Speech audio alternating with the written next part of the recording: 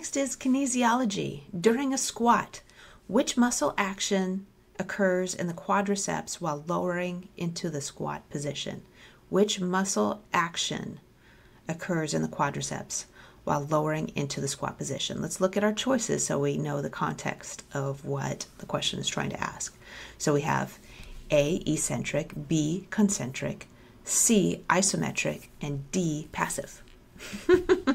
we out of all those choices, we know all all those choices go together: eccentric, concentric, isometric. These are all types of muscle contractions, right? So I need, do need to rewrite that question. What type of muscle contraction occurs? So D passive is not one of those muscle contractions. So we're going to take D off. Eccentric is where you are contracting the muscle.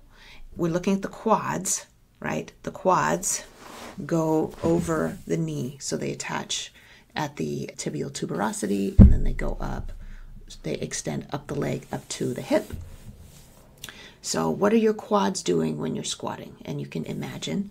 And if you're in the test taking situation, you can go ahead and imagine yourself lowering down. So, what that quad is doing as you are putting your knee into a flexed position, what happens to the quads is they will get longer with the quad getting longer, we know that concentric isn't an option because when a concentric contraction happens, the muscle gets shorter.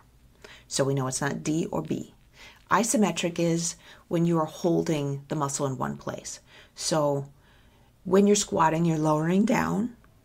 When you're holding a squat, you're in isometric. You're in an isometric position. You're holding it, right? So I don't think that C is the option either. So it has to be A, eccentric, because you're using your quads to engage the muscle, to engage the quad, but at the same time, the muscle is stretching. The muscle's getting longer. So it has to be A, eccentric.